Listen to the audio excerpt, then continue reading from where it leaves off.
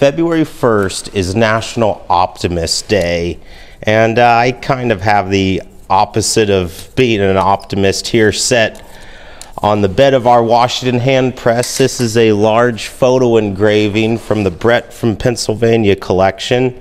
This is a newspaper advertisement and cartoon, I should say, depicting what the kind of world was like in the 1960s. And you could probably make a lot of comparisons to today, but I'm not going to be getting into that.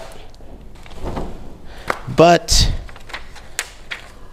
try to look on the brighter things right now.